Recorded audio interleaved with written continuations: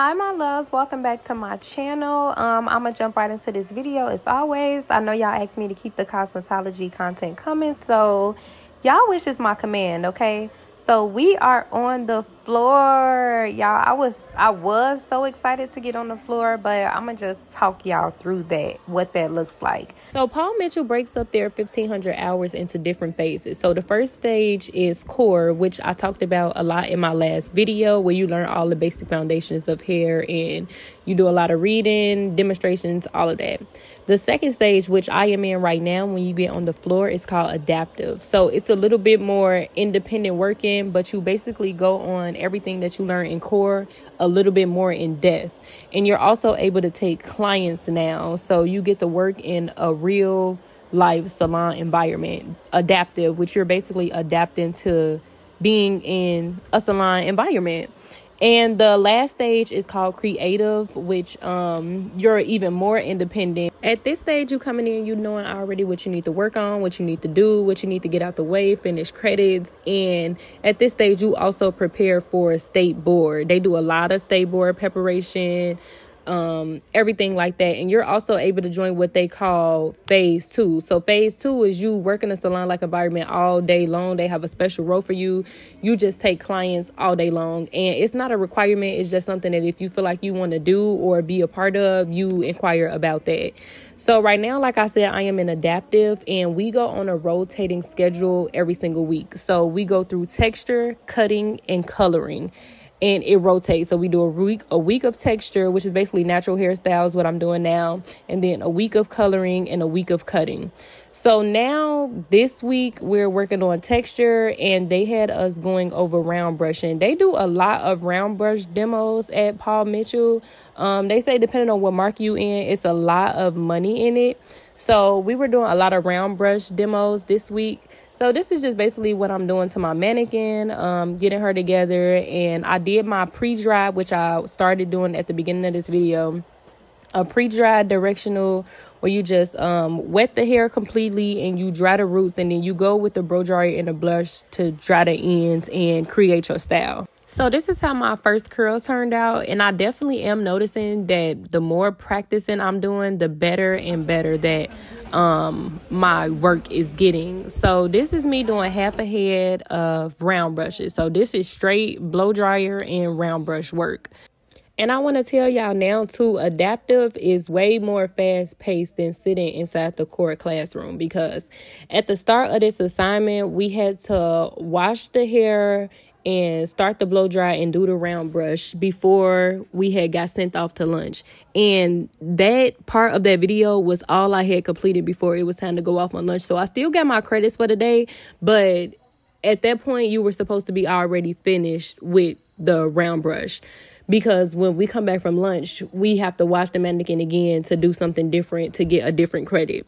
So right now I am on lunch and I just had a wig on and I just threw a hat on top of it because um, and Paul Mitchell, they only let you do personal services on Tuesdays. And this was a Monday, but I really wanted somebody to wash and blow dry my hair. So I had to wait until lunch to do that because you can get in trouble if you perform in personal services and it's not personal service day unless it's authorized and you're getting a credit for doing the actual service. So this is just me taking down my hair and I had my classmate Leah washing my hair for me. We do get an hour lunch, so they let us go on lunch for 30 minutes and then for the last 30 minutes we supposed to come back in and basically like just relax for the last 30 minutes. But today i didn't take no lunch because i wanted my hair done and yeah i had an hour to do it. Since y'all about to get a mini lock tutorial that y'all didn't ask for, I did want to go ahead and give y'all some free game. Do not just get your knowledge from your instructors because it's a million ways to do everything. And I'm telling y'all now, some of y'all classmates are at this school for a reason. They do something and they do something well, and that's why they pursuing a license. So if you see somebody that's doing something and they do it well and you want to do it or you want to learn how to do it, ask them how they do it because nine times out of ten they're gonna be receptive to give you information y'all i've been at this Paul Mitchell for a while and i can't speak for everybody everywhere but i do know that if i ask anybody random in the school a question nine times out of ten they're gonna answer it for me so just be as proactive as you can and just soak up and filter out as much as you can while you can Cause you leave school and get in the streets, it's gonna be five hundred dollars for a book, a seminar, a class. Y'all already know. Mm-hmm. That is a video. Yeah. My girl C with the hair. It's all natural. It's hers, and she got edges. Okay. Understand? Okay. The, the nice one. the nice. one. she got a good grade of hair, y'all. Okay. You know, she she in a fine, fine curly. Yeah. Yeah. It's so too. What you got on it? I don't even know. They teach y'all how to uh Yeah. properly. Mm, I sure want to learn. It ain't hard though, honestly. It's not. No. You can um, but um, just excuse my hair cause yeah, it got Excuse my I got cap head and all that other stuff. But um, see this? Like most of the time, people be wanting to party, like correct my party stuff, Mm-hmm. like my cousin. But I don't really part like, cause I don't here for no style. Right. But you just do it like that, Just literally twisting it. just twisting it, and then you clamp it. What you put on it? Just to like lock and twist? Um, sometimes I use the lock and twist, or I use coconut. Like, I'm not a big fan of uh product because it gives you build up.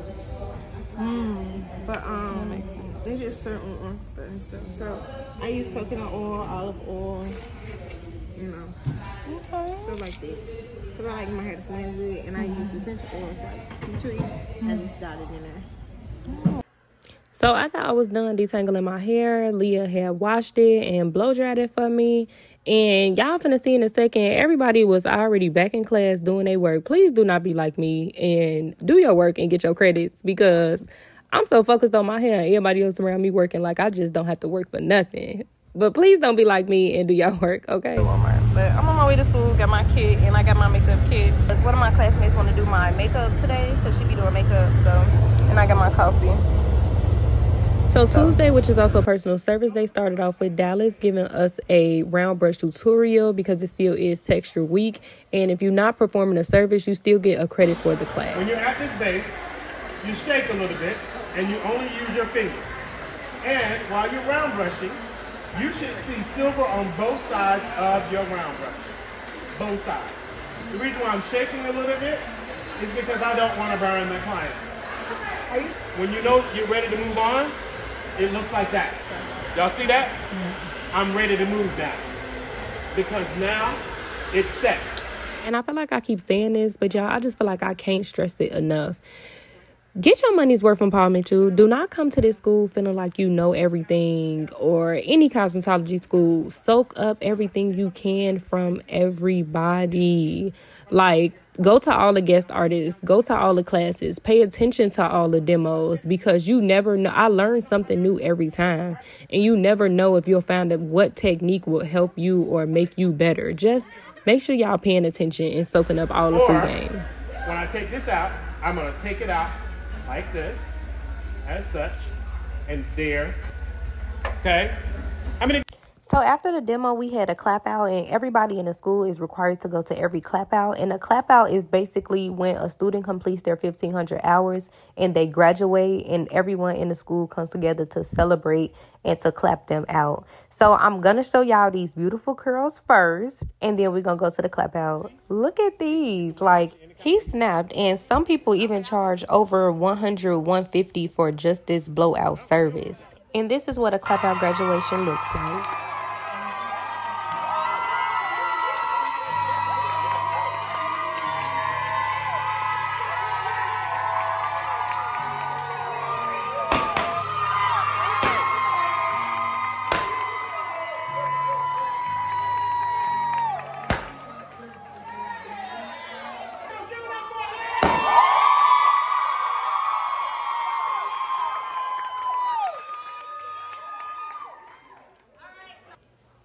After the clap out, we went back to the floor, and this is why I kind of hesitated about being on the floor because one thing about it, it is very unstructured. well i'm gonna say it's less structured than being in the classroom because um, some days it's just very disorganized um, they had set the wax spot out but it wasn't a learning leader over there to be telling everybody who walked up to use it the proper way to do it. So we were kind of over there clustered together trying to teach each other and still do it on ourselves. Even though we have the tools to look it up, it's just better to have, for me, how I learn, somebody tell me what to do, if you get what I'm saying. So in this aspect, I just wish it was a little bit more organized.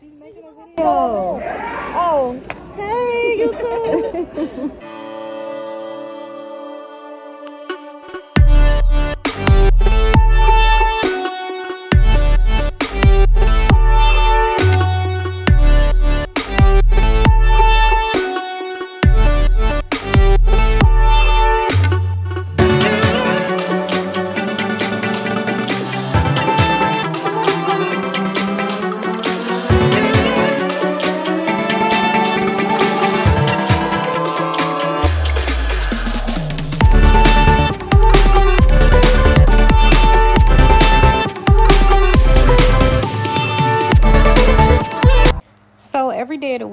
Paul Mitchell, it's always a group of students that do distance learning on different days. Our day to do distance learning is on Wednesday. So, Wednesday, we don't go into the school. This is when we do all of our online assignments. So, y'all, it's not just on the floor work. You actually have real life work, real life reading to do, real life assignments. You have to watch videos. And at the end of every day, whatever day your theory day is, which is what our distance learning is called, whatever day your theory is, you have until 11:59 to take your chapter exam. So you have to read the chapter, do all of the assignments, and take your exam within that day. You can do it earlier if you want to, but if you do it while you're on a Zoom call, which you have to be on a Zoom call the whole entire time, from the time you clock in on distance, from the time you clock out on distance, you have to be on your Zoom. And just to let y'all know, y'all do actually have to do the assignments because they are able to monitor how much you've done within that day. And if they see that you haven't done any assignments, but even though you were clocked in for the whole eight hours, they will literally go back in and take time off your timesheet. So just do the work, y'all. Just do what you got to do and just get it over with because it still has to get done before you graduate. So my group is only in school Monday through Thursday. So today was our last day um, of school for the week. So we came in that morning and our instructor had demoed us how to do a roller set. So we grabbed our roller sets and then we all just started doing it until it was time to go to lunch. Um, we had put our mannequin under the dryer before we went to lunch, and after we got back from lunch, that's when we um, undid our roller set. So I'll just let y'all.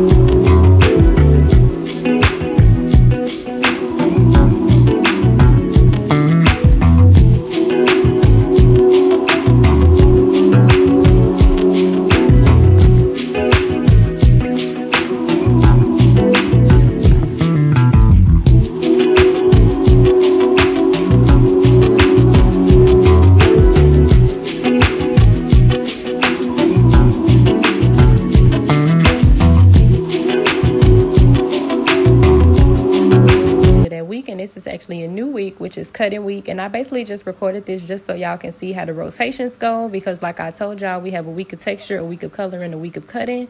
And since this was the week of cutting, we were cutting a um, one length bob.